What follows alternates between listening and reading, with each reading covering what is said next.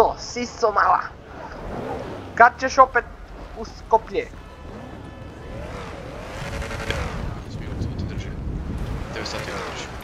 Evo Ajmo ga bre do- sudija, tu je u gradu. Može brate, hoćemo u Ćeliju. Alo, jel ti nisi sudija?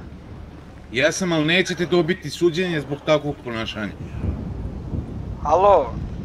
Šta, šta Lepo- smo se ponašali, šta smo uradili? E, za to alo sad ćeš ovaj, dobiti kaznu za nepoštovanje suda. Šta ti je te breve, jesi ti lud? Ajde, ajde, idi tamo, ajde idi tamo, nema suđenja.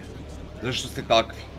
Kakvi Ovdje stojimo 3 sata, odem do autoplaca da kupim auto, onda krenete da pišete poruke ko blesevi. Pa dobro druže, mi imamo banko, jurimo, šta da radimo? A juri onda, brate, Pa juri. uvatili smo ga sad i šta da radimo, gdje da ih nosim sad? É pá, não assim, nas NASA. Que está a ver com o